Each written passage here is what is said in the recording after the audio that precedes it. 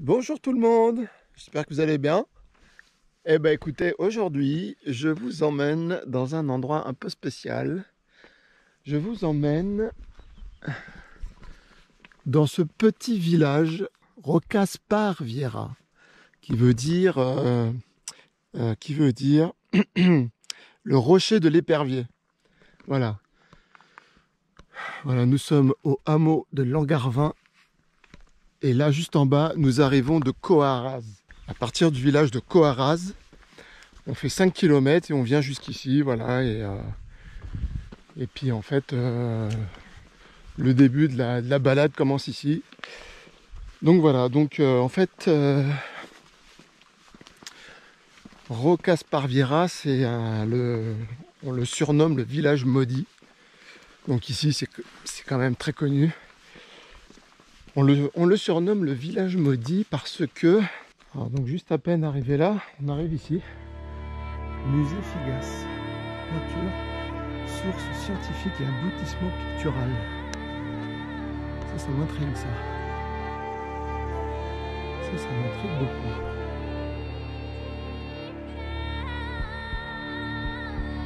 Tarif 5 euros par personne. Ouvert le samedi et dimanche de 14h30 à 17h30. Ça peut être intéressant, ça peut être intéressant.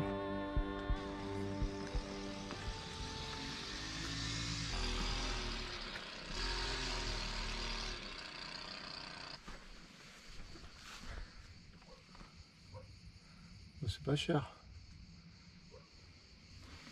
C'est pas cher. c'est génial.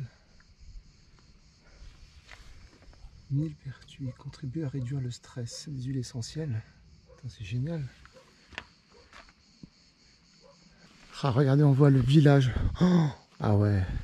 Ah ouais, effectivement, d'ici, c'est pas loin. Hein. C'est pas loin du tout, quoi. Le village de Rocas Paviera.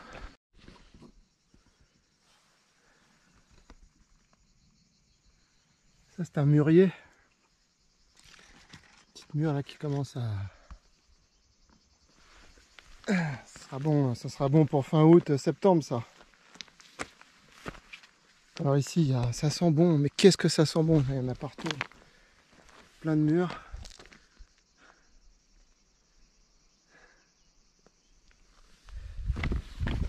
vous voyez tout ce qui est à hauteur de sol comme ça? En fait, euh, tout ce qui est à hauteur de sol comme ça, fraises des bois, fraises sauvages, là, les, les murs, tous ces, ça, faut faire très attention. En fait, faut éviter de les manger quand ils sont, euh, quand ils sont comme ça euh, très bas, parce que les renards viennent uriner dessus. Et en fait, ça développe la maladie de Lyme. C'est une maladie euh, très très très grave, très très compliquée, mortelle, mais qui met beaucoup de temps à se déclarer.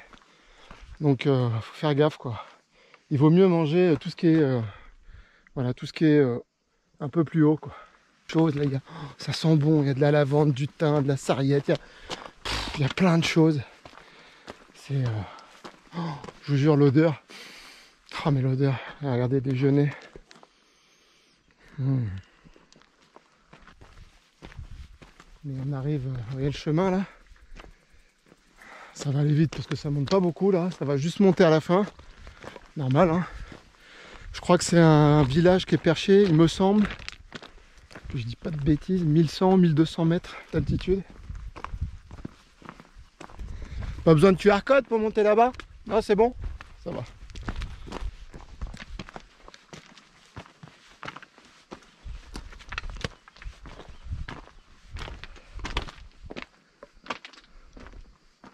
Je pense à la reine Jeanne qui a décidé d'aller voir la messe de minuit. Elle avait vraiment envie de voir la messe de minuit. parce que pour aller sur ce chemin jusqu'à Coaraz. Ah, franchement, faut être motivé quand même, hein, en pleine nuit. J'imagine qu'elle a dû y aller avec des gardes, mais quand même. Oh, elle avait bien une petite mule, une petite mule, un petit âne, un petit truc comme ça quand même. Je pense. Une reine, euh, non mais attends. Je suis désolé, mais une reine ça marche pas là-dessus. Hein.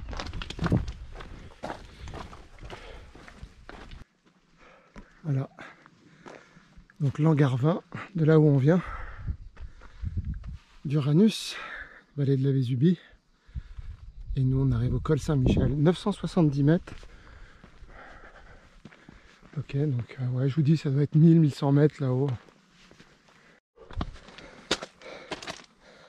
Bah, les, derniers, les derniers mètres, ils vous achèvent. Oh, je vous le dis. Hein. Ah, ah belvédère. Waouh. Ah, c'est beau. Hein. Oh putain, je suis KO. Ah, ça va déglinguer là, ce côté. Ouf.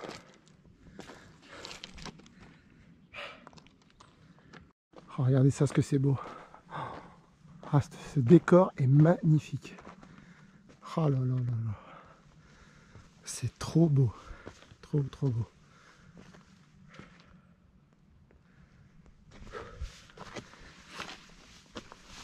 Oh.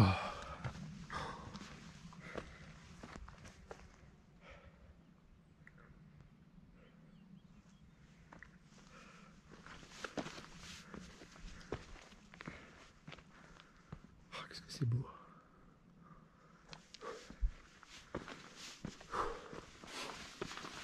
Ça ressemble des escaliers.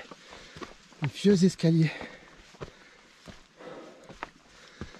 Ce qu'il en reste? On arrive à la chapelle.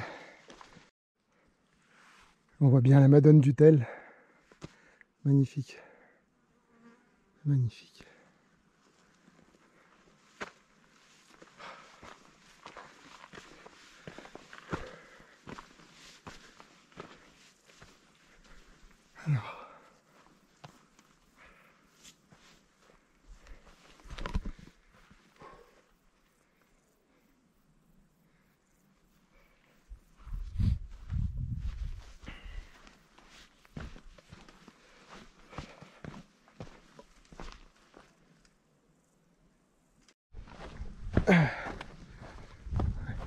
Qu'est-ce qu'elle est belle cette chapelle oh, Très très très jolie, très très très jolie. La chapelle Saint-Michel. Ah, bah, j'ai discuté avec les gens, ils sont très gentils. Oh, mais regardez est-ce qu'elle est perchée. Oh, magnifique, magnifique. Waouh, waouh.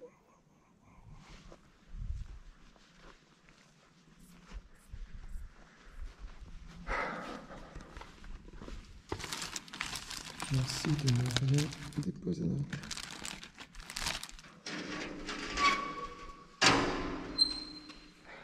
Hop. Oh, qu'est-ce qui fait bon? Qu'est-ce qui fait bon? Ah, ça résonne. Ça, c'est signe des Templiers, hein, me semble.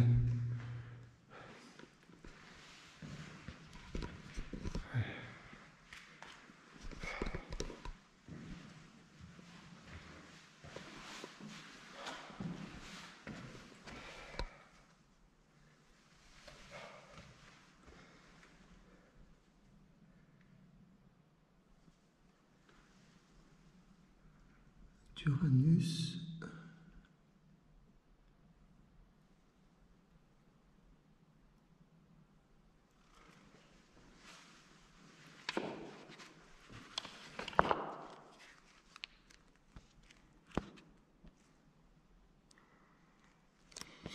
Ok, chanson.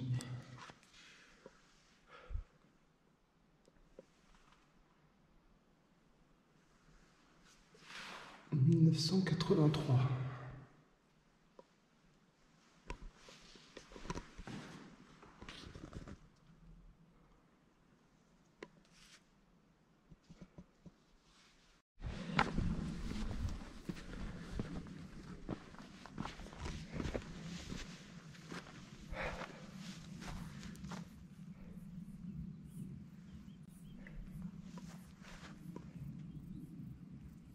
Allez. C'est parti pour la visite du village maudit de Rocas Parviera. Ah ouais. Waouh. C'est impressionnant.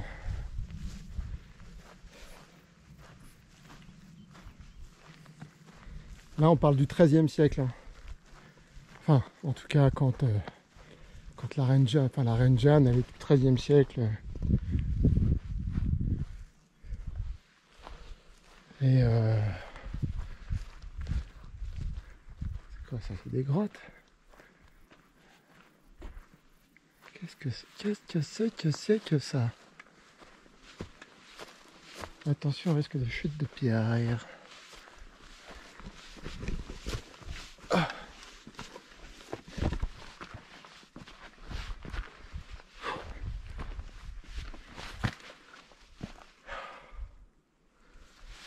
Le problème, c'est de ronces.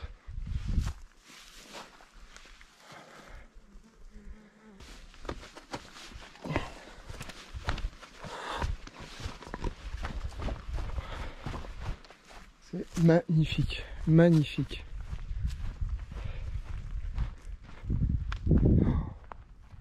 Incroyable. C'est fou. C'est vraiment Hein. Oh. C'est fou que ces, ces, ces parois elles ont résisté.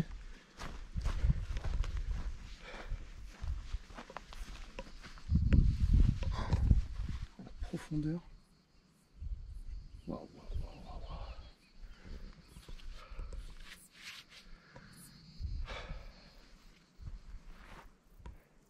Incroyable.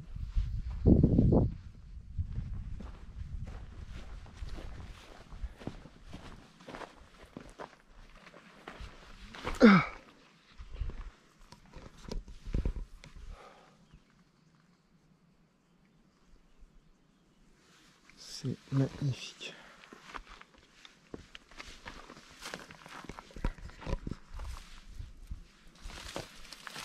C'est des ronces. C'est- euh, dommage parce que là il y a une petite grotte là. Mais c'est ce qu'on voit qui donne en dessous là. Oh, J'aurais dû mettre un, maintenant un pantalon, j'aurais pété de chaud mais. Aïe Ah, Vous voyez ça c'est.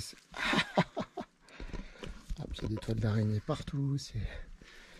Ah, mais c'est ah, c'est l'aventure hein. C'est l'aventure Ah waouh, waouh, waouh, waouh, waouh. Impressionnant. Incroyable. C'est fou.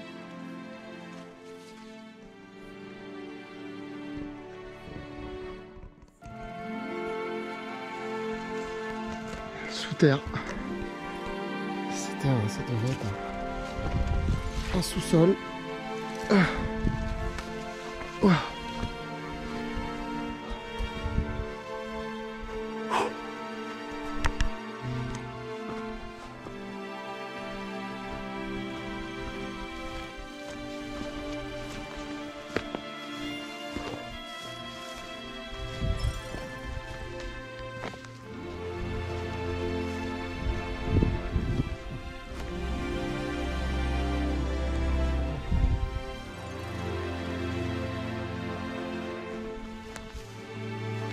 Fou de se dire qu'ici il y avait vraiment une vie, quoi, une vie de, village. Les gens étaient autonomes.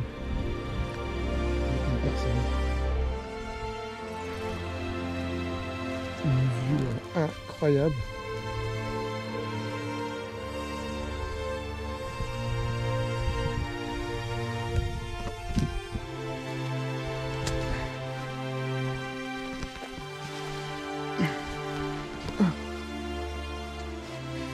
Ça sent la lavande, le thym et tout. Ça sent trop bon. Oh. Ce mur en pierre sèche là, magnifique. Magnifique. Ah, avec le sac à dos, je passerai pas. Ah.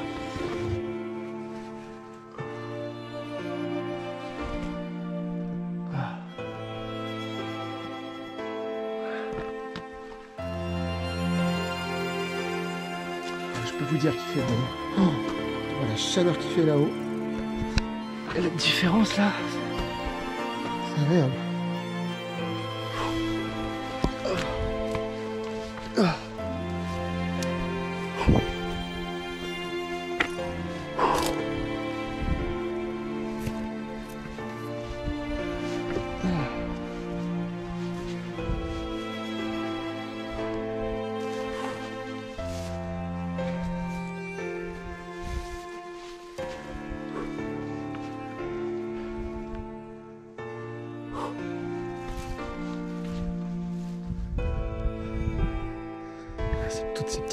C'est magnifique. Magnifique.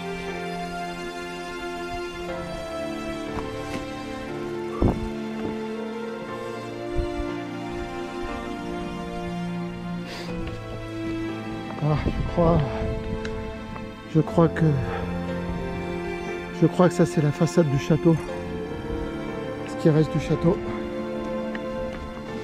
il me semble. Donc le château que la reine Jeanne aurait incendié avant son départ. C'est fou.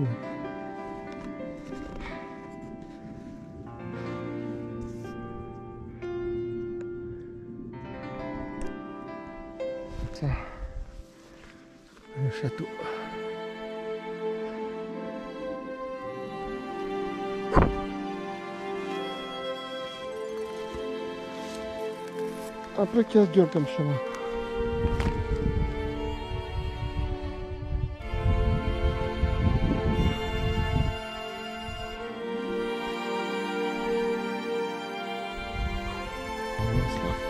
Ça c'est chiant l'avance par contre. Mais ça va. Ah, puis veux dire, ça pique bien comme il faut. Hein. Donc le château, ce qu'il en reste.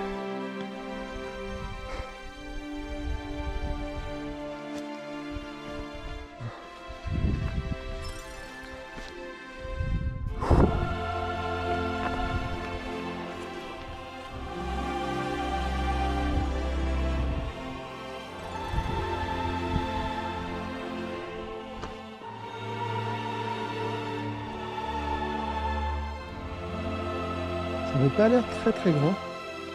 Un petit château. Un petit château de survie.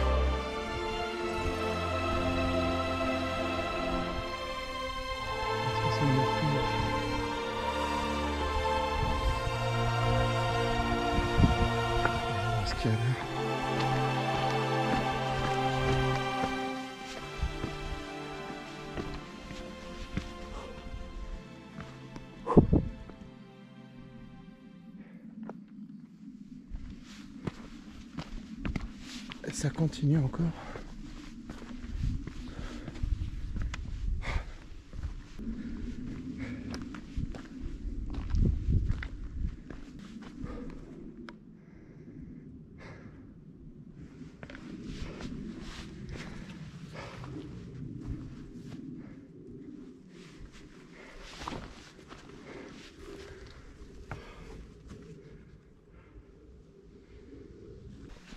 Ça ressemble à... On a l'air d'être un petit peu reculé, euh, un peu à l'écart du village. Ça devait ressembler peut-être, euh, peut-être que c'était chez le druide.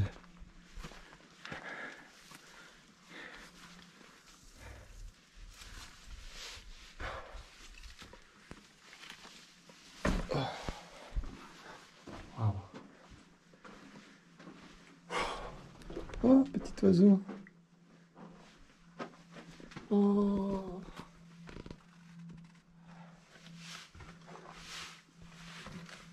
Il est vide. Ah.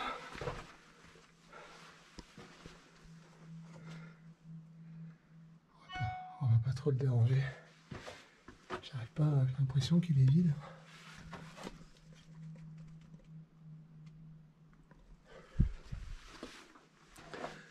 Petit nid d'oiseaux. Tu m'étonnes, ils sont bien là.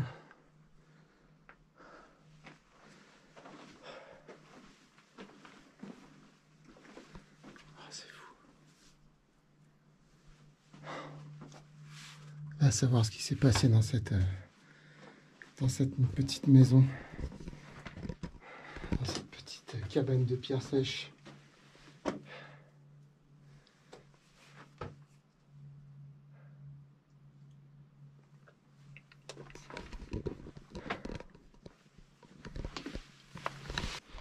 J'ai voulu passer au-dessus de ça. Aïe Et je me suis éclaté le genou à la pierre. Ça, c'est la malédiction de la reine, ça.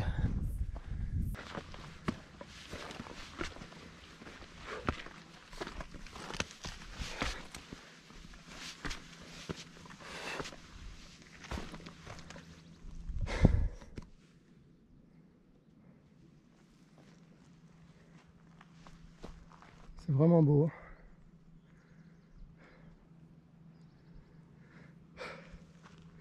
Bah, tiens, là-bas aussi, il y a une ruine. Une vieille bergerie, sans doute.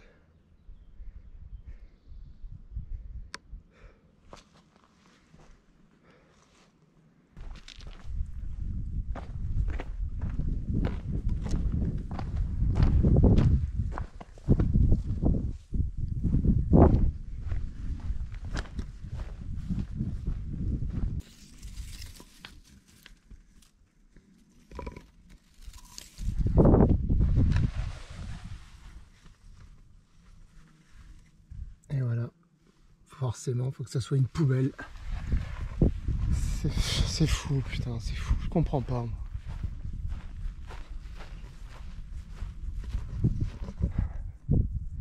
Je comprends pas, moi, tous ces, blaireaux qui viennent là et qui, balancent leur, saloperie là. Putain, mais assumez. Venez pas ici si c'est pour saloper la, la- la planète. Quoi.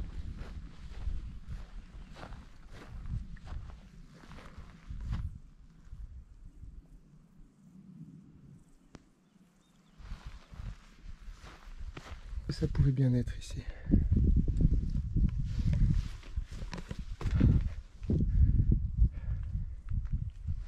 Une petite vue sympatoche. Ah.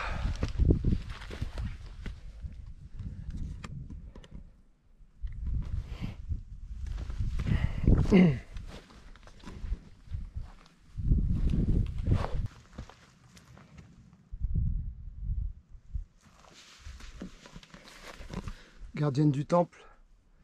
Hmm.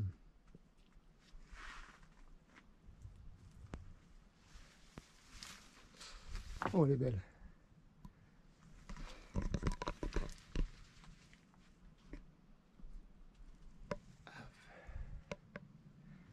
Très belle. Très très belle araignée. Vous ce que je vais faire Je vais monter là. Je vais me poser. Et plutôt que de vous dire, euh, parce que je connais l'histoire en fait, je, connais l'histoire, j'ai pas mal, euh, pas mal potassé le sujet, mais pour vous donner les bons, les noms exacts, les bonnes dates, les lieux, euh, tous les protagonistes, et, et ben je vais m'asseoir, je vais prendre, je me suis envoyé par mail, voilà, l'histoire. alors, les histoires. Voilà, c'est parti. Je vais vous raconter l'histoire un peu de ce village, euh, de ce village de Rocas Paraviera. Et je préfère lire euh, plutôt que vous dire euh, des, des, informations erronées ou des points d'exclamation, des points d'interrogation, enfin. Dans son fief de Rocas Paraviera, la reine Jeanne tint à assister à la messe de minuit dans l'église du village voisin de Coaraz. Elle laissa ses deux enfants à leur nourrice. En chemin, la reine Jeanne fut saisie par un pressentiment accentué par les croissements d'un sombre vol de corbeaux qui semblait répéter La reine va à la messe. Lorsqu'elle reviendra, elle trouvera table mise. À son retour au château, la reine découvrit un horrible, un horrible spectacle. Le chapelain ivre-mort, la nourrice gisant dans le bûcher et sur la table du festin couchée sur un plat, les corps nus des pauvres enfants avec un large couteau planté dans la poitrine. Selon d'autres sources, ils auraient été découpés en morceaux. Folle de douleur, la reine Jeanne repartit le lendemain vers Naples. Après avoir fait incendier le château sur le chemin de Coaraz, elle se retourna vers le rocher de Rocas Paraviera et proféra cette terrible malédiction. Roche sanglante, roche maligne, un jour viendra où sur tes ruines ne chantera plus ni le coq ni la poule. Un jour viendra, depuis le maléfice s'est réalisé, une invasion de sauterelles euh, au XIVe siècle une succession d'épidémies de peste au XVIe siècle, et enfin, puissant tremblement de terre fissurant les maisons. Le sort semble s'être acharné sur le village au fil des ans. Ainsi, au cours du XVIIe siècle, le village est progressivement abandonné. Les derniers habitants partiront en 1723, car ils n'avaient plus d'eau, sûrement bouchée par les séismes.